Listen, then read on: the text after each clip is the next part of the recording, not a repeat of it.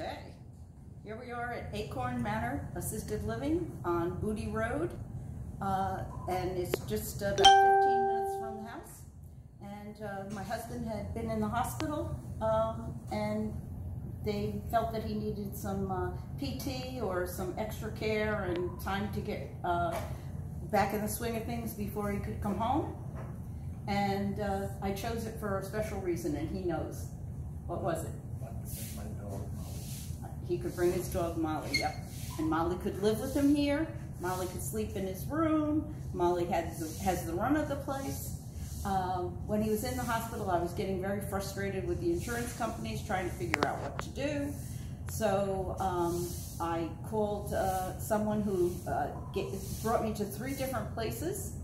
And um, one was sort of institutionalized, a big place. I won't name any of them. And the other one was um, assisted living home, uh, maybe about 15 people, but I thought he might get lost there because um, he wasn't walking very well and I thought it might confuse him. And then the third place we looked at was Acorn Manor, and it's a small group home, much like it, it is a house, and so it was seemed to be the perfect uh, place. Uh, the whole time Joe was in the hospital, it was when am I going to get to see my dog? Can you bring me Molly? When am I going to get to see Molly? I miss Molly. It wasn't me, it was Molly. so uh, I felt that this was going to be the best move, and it's turned out to be really good.